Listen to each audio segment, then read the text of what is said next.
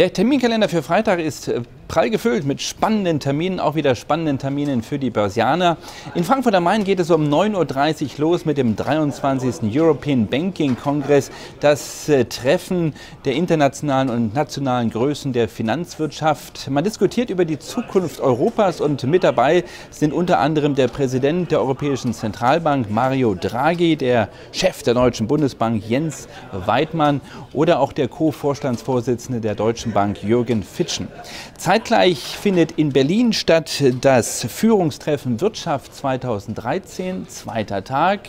Man spricht dort über Strategien für mehr Wachstum und dort unter anderem mit dabei sind die Vorstandsvorsitzenden von RWE, von Siemens und auch von der Münchner Rückversicherung.